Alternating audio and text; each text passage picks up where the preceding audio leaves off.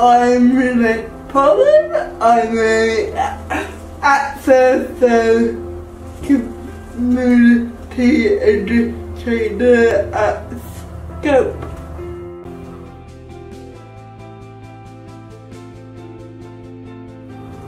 For myself, it means that people see all of me.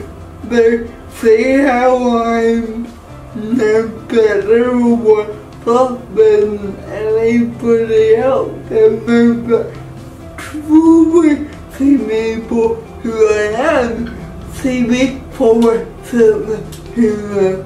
How downright annoying it can be because of myself at times and really have resilience and not not in spite of my disability but because I have one.